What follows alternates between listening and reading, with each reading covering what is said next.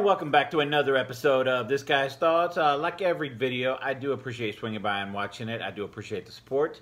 Uh, tonight, we are in the middle of filming the uh, Oktoberfest 2020 uh, beers here on the channel.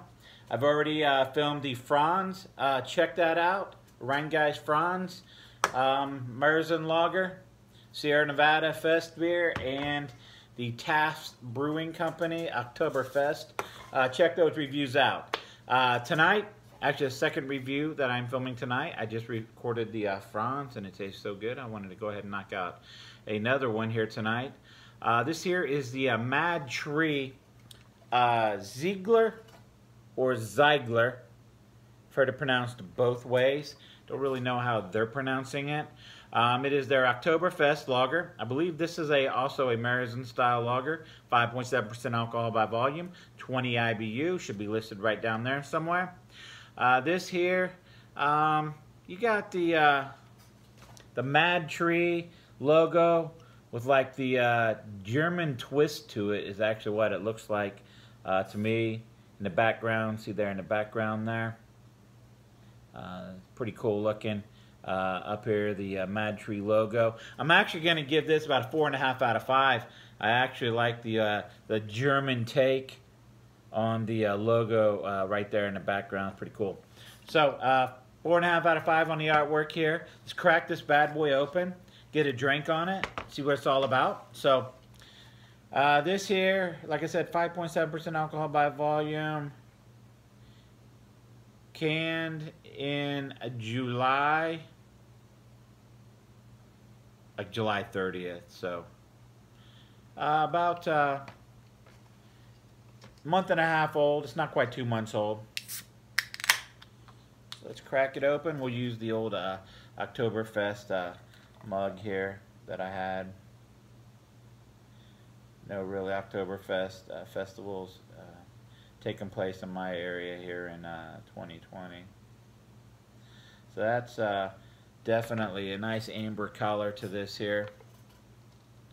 Put that up there. Mad Tree Brewing out of uh, Cincinnati, Ohio. Pretty uh, amber color to this. Uh,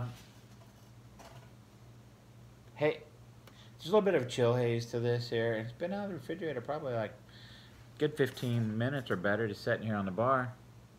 Uh, there is some clarity to it, not super clear, but there's some uh, mild clarity to this. This head is gone quickly on this thing here. Uh, it was just a white head up on top of this, uh, just coppery, ambery looking beer. Oh, wow. There's a nice caramel graininess to this. Is there any reading on the back of this can? Nope. So, yeah, I'd say uh, smells really good. Mild roasted roastiness to this, but not as roasty as some of the other um, Oktoberfest uh, beers. But I do get like a sweet caramel uh, aroma coming off of this. Really nice. So let's get a drink on this, see what it's all about.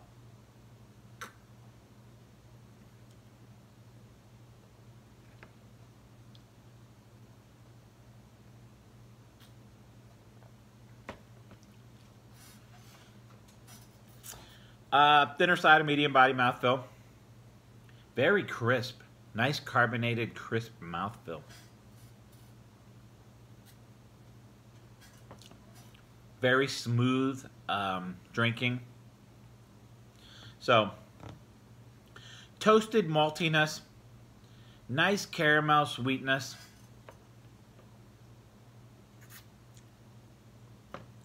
Nice German happiness to this.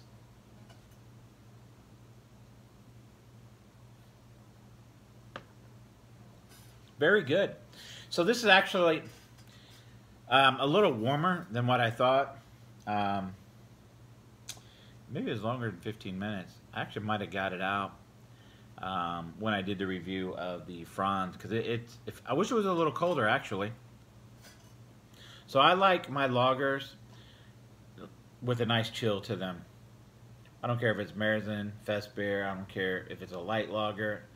I don't care what type of, of lager it is. I, I just like my lagers to have a little bit of a chill to them.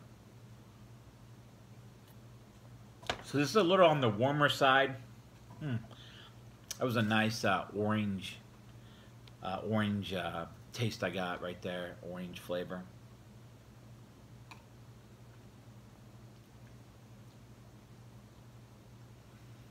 Multi caramel orange, crisp, refreshing, smooth. I wish it was chilled a little bit more.